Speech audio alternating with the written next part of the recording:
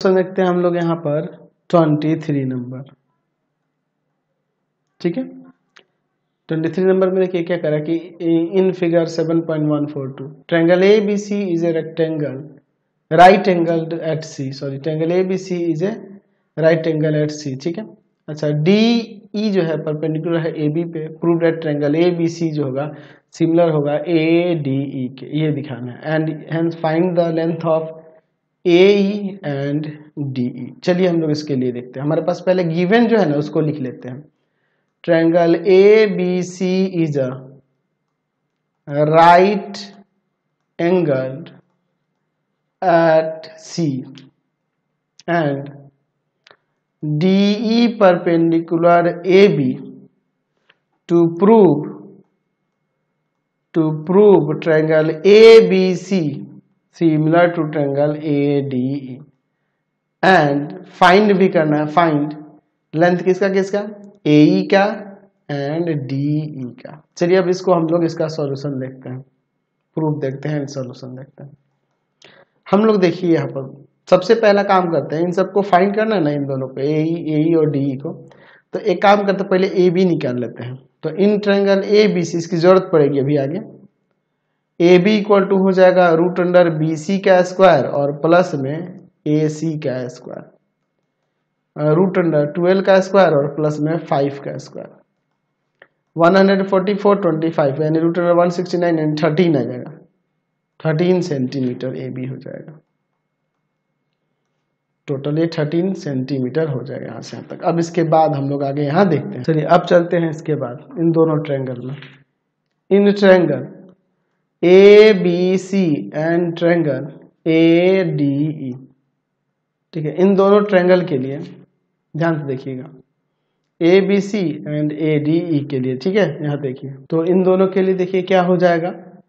पहला तो इसमें एंगल सी है और इसमें एंगल ई e है, यानी कि आप डी ई ए भी लिख सकते हैं, कोई दिक्कत नहीं है। इच नाइनटी और एंगल ए दोनों ट्रेंगल में है। एंगल ए इक्वल टू में एंगल ए कॉमन है।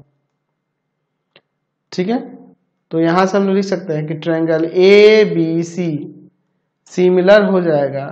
ट्रेंगल ए डी के एंगल एंगल सिमिलरिटी से। तो अब ये सिमिलर हो गया तो हम लोग जानते हैं, क्या जानते हैं कि if two triangles are similar are similar then ratio of its corresponding side its corresponding sides corresponding sides are equal इसके corresponding sides का रेशियो क्या हो जाएगा इक्वल हो जाएगा ठीक है तो ए बी सी ट्रेंगल में हम लोग साइड जैसे अगर मान लीजिए हम लोग इसमें जैसे मान लेते हैं ए बी लेते हैं तो इसमें ए डी हो जाएगा। इसमें जैसे ए सी लेते हैं ए सी लेते हैं तो इसमें ए ई हो जाएगा। इसमें अगर हम लोग लेते हैं बी सी तो इसमें डी ई हो जाएगा, जो कि हमें फाइंड भी करना है। तो ए बी क्या वैल्यू ए बी का वैल्यू हमारे पास है? अभी निकाले थे ऊपर थर्टीन अच्छा ए डी का वैल्यू थ्री ए सी का वैल्यू फाइव ए ई का वैल्यू निकालना है. बी सी का वैल्यू ट्वेल्व डी ई का वैल्यू निकालना है. चलिए तो इक्वेट कर देते हैं अलग अलग दो देखिए, इधर हो जाएगा सेंटीमीटर सेंटीमीटर हटा दिए thirteen by three equal to में फाइव सेंटीमीटर बाई में ए ठीक है? और इधर हो जाएगा आपका thirteen by three equal to में ट्वेल्व सेंटीमीटर बाई में डी ई। तो इसको इधर भेज देते हैं। इसको इस तरह, इसको डिवाइड में भेज देते हैं। तो ए इक्वल टू में यहाँ से क्या आ जाएगा? यहाँ आ जाएगा थ्री फाइव जब फिफ्टीन और बाई में थर्टीन सेंटीमीटर। ठीक है? अच्छा और यहाँ पर डी इक्वल टू में क्या हो जाएगा?